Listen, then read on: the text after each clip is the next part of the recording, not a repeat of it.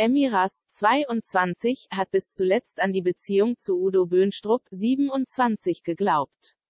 Bei Temptation Island VIP testen die Ex-Promi Big Brother Bewohner, wie es um ihre Liebe steht.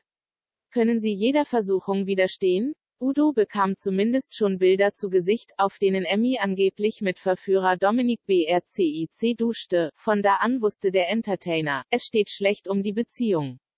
Emmy hingegen habe ihren Partner bis zuletzt nicht aufgeben wollen.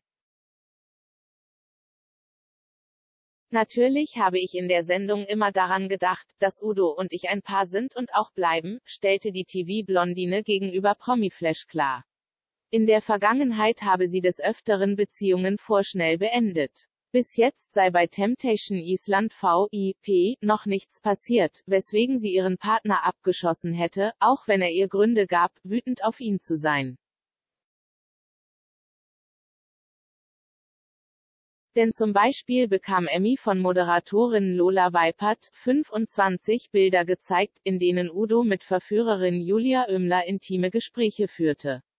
Danach machte die Beauty den Anschein, als hätte sie Udo sehr enttäuscht.